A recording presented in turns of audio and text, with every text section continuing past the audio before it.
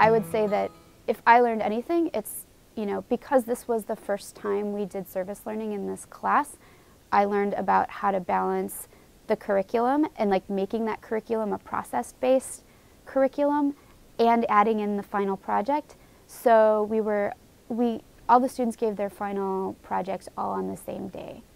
And it was a pretty tight day. So not all of the community partners got to make it. So I think the students that had more interactions with their community partners had a far better experience than the students that had less interaction. So I didn't know how much that would really matter because really what mattered was that the students had data that they felt accountable for. And I think that was the primary important thing for the successful projects. However, the students that had more face-to-face -face meetings with their partners did have a better experience. So I would, I'm going to make that more of a requirement in the future.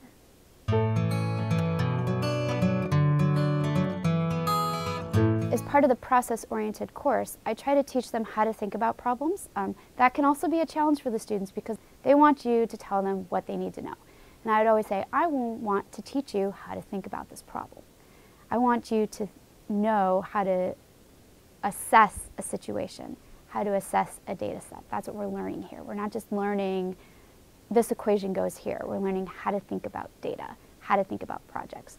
And so even though sometimes they're reluctant to that, what they're learning is critical thinking skills and they're learning a process that they can apply to anything. So no matter what they do, even if they go off and they're not they're doing a project that's not really related to biology, but they're doing anything that relates to data, they're going to have this model that they can fall back on that hopefully they'll remember because of of this experience that, that meant something to them.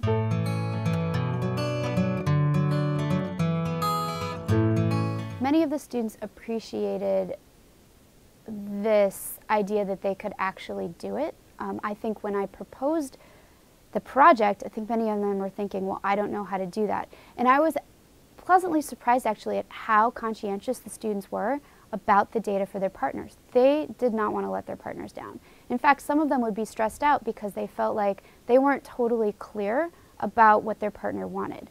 And I tried to lead, again, you know, students like everything to be really clearly defined. I like to leave things a little loosely defined because, again, that's how the real world is. Like, you need to make decisions. You need to make decisions and you need to go with it. You need to be able to be confident in what you know and try things and, and, and trust it when it works.